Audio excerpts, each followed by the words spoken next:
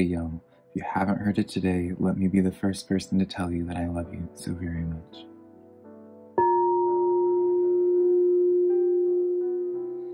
Hey, girl. Hello, my beautiful Leo. How are you doing? My name is Simply Velca, and today I'm going to be doing your weekly you versus them reading between you and your person. Now, Leo, I also do your weekly general reading for your zodiac sign, which I'll leave a link to over here for you to check out at a later point if you'd like. But when it comes to any of my readings, be sure to rely on your intuition, Leo, because put it in perspective, I'm just a man reading some tarot cards to you. You know your situation better than I or possibly could, so take the cards that resonate and leave what doesn't, because I'm not going to be offended by it whatsoever. Now, Leo, if you find some cards that resonate with you, be sure to let me know in the comments below. Let me know which card resonates, because that's how I keep up with y'all through the comments. And if you find a card that resonates, Leo, I would really appreciate it for you to give me a like and subscribe because it does help me out a lot and I always appreciate it when you guys take the time to do that for me. And then finally, Leo, this reading's here just to give you some perspective for this week, right? A perspective to consider, some food for thought as you go throughout this week, but I'm not here to make a decision in your life. And so let's just get into this reading with all that in mind. Um, I already pulled some cards for your overall energy for this week. Uh, Leo, when it comes to this person, uh, three cards for you guys actually. Uh, you got two animal cards. Uh, one is the Antelope Spirit, Life is Speeding Up, number two. So write down number two for numerology, first and foremost, Liam. Uh, but this is just more so like a good omen. Um, I would kind of associate this card, Leo, as the, with kind of like the chariot almost. That's kind of uh, the kind of sensation that I get. So, per, and dare I say, perhaps, there's going to be a couple of reasonings behind this message as to why this antelope spirit came out in the first place for you, Leo. the first one being, I feel like it came out more so to let you know because maybe perhaps you guys have been in like a little bit of a rut or you feel like there's been like a little bit of a stalemate when it comes to this connection uh, right? And so if you've been having some issues with that, don't mind my cat, by the way. Um, if you've been having some anxiety over that, don't worry about it. But then it's because it's there's still I definitely see some type of action happening this week um, when it comes to this connection, a perspective uh, really going to shift for you when it comes to this. I'm so sorry, Leo. Ah, um, the other reasoning for this message, though, could be for a different part. You have the snow leopard come, which says take some time out of your usual life and spend it in some solitude. So this would be like that meditation card. There would be that card of finding yourself, right? Uh, and you probably are getting this card just because it's like you don't want to like take that time to find yourself. You don't want to just do some soul searching to do some um, self reflecting because it's like you feel like you might associate that with uh, no progress. You might associate that with slow movement, and maybe you're just like I'm tired of dealing with that slow movement. You want to you want some action. You want some results from this connection, right?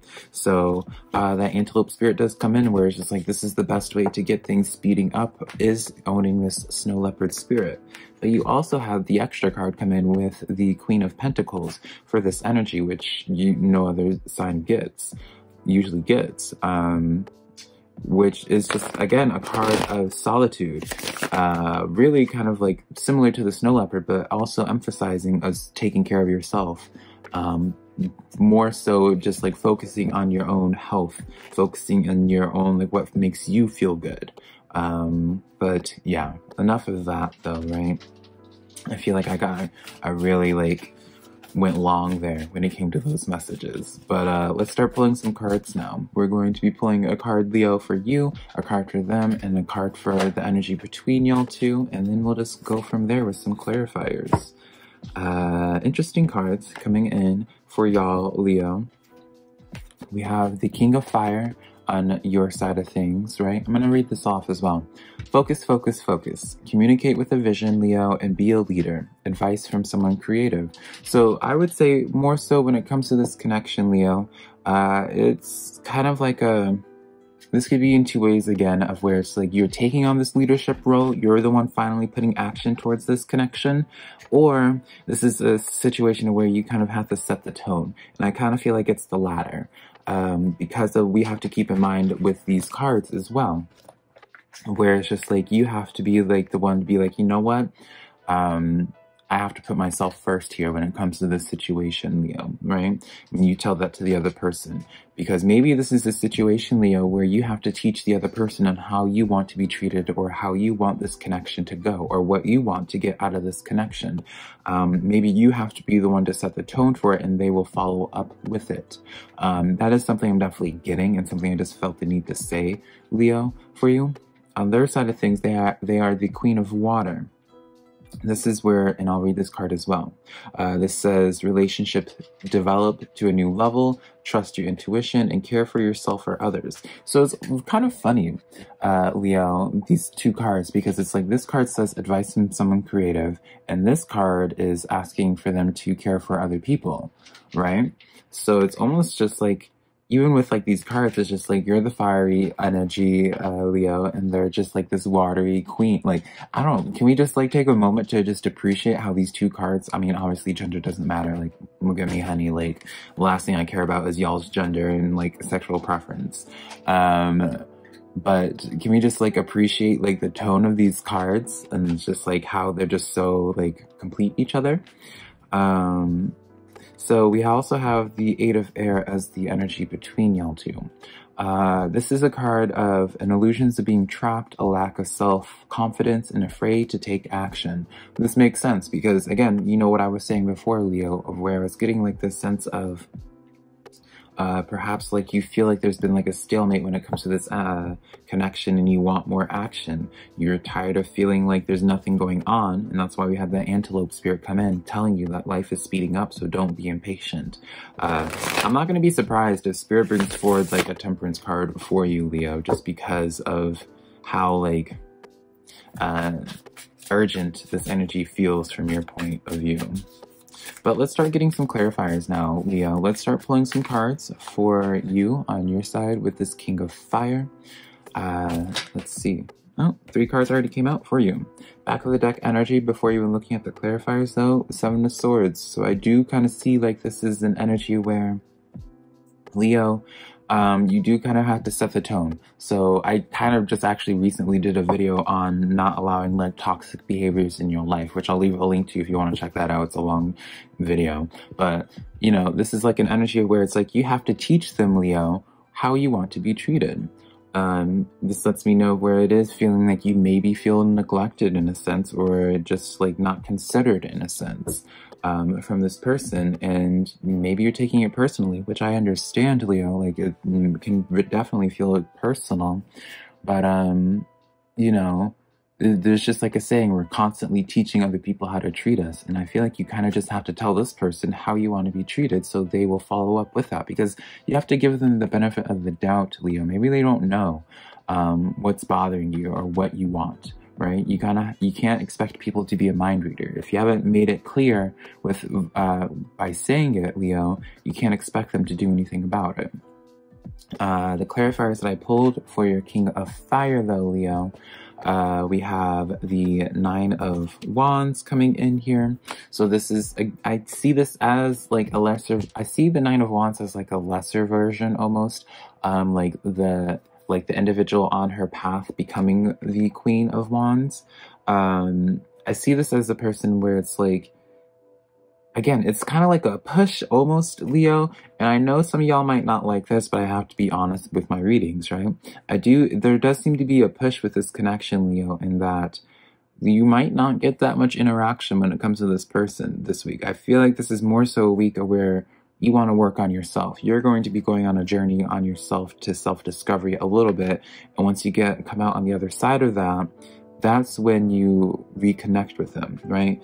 But you have these other clarifiers where you have the Hermit card and the Eight of Wands, where it's like, again, like all this very much so solid solitude energy, like Queen of Pentacles, solitude energy, Snow Leopard, solitude energy, Eight of Pentacles, solitude energy where you're learning. The Hermit card, honey, what does the Hermit mean? Right? Solitude energy. Nine of Wands, solitude energy. Right?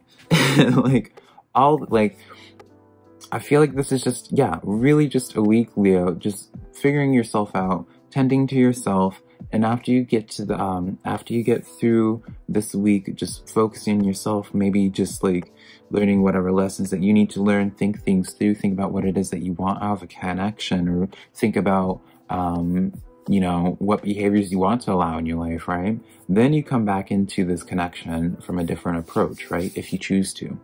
Um, but yeah, let's get into their side of things now, Leo, with this Queen of Water. Let's see what's up with them now. Hopefully I didn't step on y'all's toes with that, Leo. I just want to be like, I just see this really like the best way to really get things, the ball rolling when it comes to this connection, right? With that antelope spirit is just some self-reflection, some introspection. Um, it may not make sense right now, Leo, but I have a suspicion later on it's going to, especially if you uh, start telling them like what you want out of this connection. I feel like you'd be pleasantly surprised by what would happen if you communicated. Uh, let's see now. Queen, King of Wands, Eight of Wands, Six of Wands, back of the deck energy, the world. Okay. So, Leo, I mean, this is you. They, you, you are definitely in their thoughts heavily at this time. Um, I kind of see they, it's almost like Leo. I kind of see them kind of watching you from afar. Even though like there's no page of uh, or not page of wands, no page of swords here that you would associate that more so with. I kind of see them being like, seeing with these two cards being like, wow, look at Leo go look at Leo. Um, I mean, really, like you see this is like you see the line in the back too, as well with this deck. It's like this is you, and this is like them just like reflecting, being like you know this like staring at like this card just is like them staring it off in the distance. They're admiring your power. Uh, Six of Wands here, they really just see you in such a beautiful light uh, Leo, I really feel like they would be understanding if you did communicate with them and set your boundaries. I feel like they would respect you for that. I feel like they would think very highly of you because of that, Leo. So if you are having some type of fear when it comes to communicating your wants, your desires, or what have you, this person would really receive it very well uh, for you because they just have a very high respect for you. They find you very admirable. Um, yeah, and especially with the Queen of Water, and it says at the very beginning of this card, Leo, relationships develop to a new level and caring for other people. I really do feel like they, the relationship develops to a new level with you guys through you opening up and through you giving them the opportunity to sh show that they care. Um, I felt that. That was a little bit deep there, my goodness. uh, let's pull some cards though for this Eight of Air for the energy between y'all two. So this is that card of being like an illusion of being trapped, which it does make sense. You feel like you can't maybe get work this, make this connection work out. Um, uh, lack of self-confidence and afraid to take action. King of Fire talks about needing to take action, right? Um, I just enjoy how these, this reading is just all like all the way panning out. Uh, let's see here. Major Arcana coming out for this. So we have Page of Pentacles coming out. So definitely this is the card of where it is like talking about communicating and like speaking what it is that you want, showing your pentacle and being like, you know, this is what I want or whatever, right? Just communication, right? Communication, communication, communication um, Tower card comes in with the Hanged Man. I really do feel like this is just a situation, um, Leo, of where it's just like people just, you need to communicate um, what's not working out for you, what you don't like out of this relationship, what you do like out of this relationship, Leo. And when I say relationship, I, platonic or romantic, I, it doesn't matter which. I just feel like there's just like a thing where it's just like you can't do like it feels like from your perspective, Leo, that you feel like you can't do this anymore, right? Like something needs to change and you're absolutely right.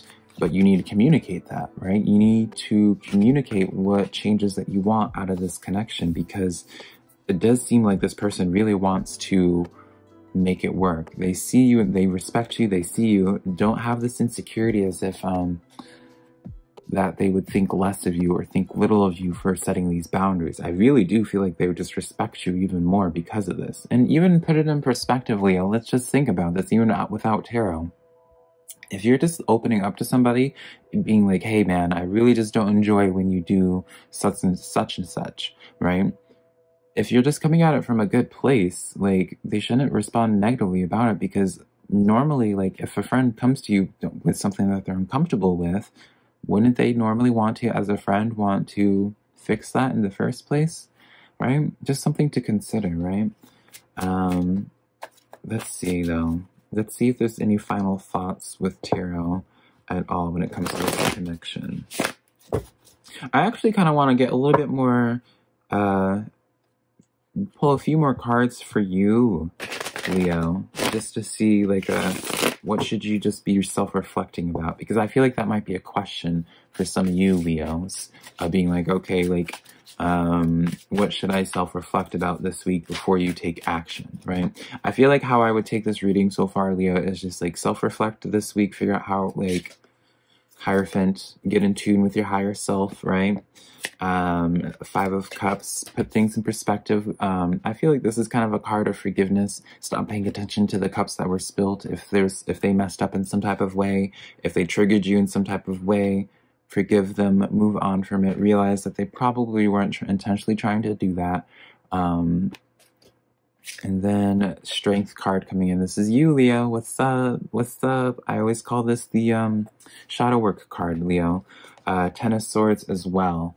I feel like you just need to kind of like the biggest blockage or the biggest issue is like getting over whatever pain they caused you, if they caused some type of pain or whatever like triggered you, whatever treatment that you didn't like um, you kind of need to forgive them and move on from it and then communicate and being like, I don't like to be treated this way. I don't like to be spoken to in this way. Let's avoid that for the future. I feel like things are just going to pan out beautifully after that because they'll listen and be like, okay, moving on, right? And it'll just make y'all closer. But yeah, Leo, that's the reading that I have for you. If you enjoyed this reading, be sure to let me know in the comments below. Um, be sure to give this video a like and subscribe, and then be sure to share this video with a friend if you think they might be into my messages. Until next time though, Leo, I love you so much. Bye.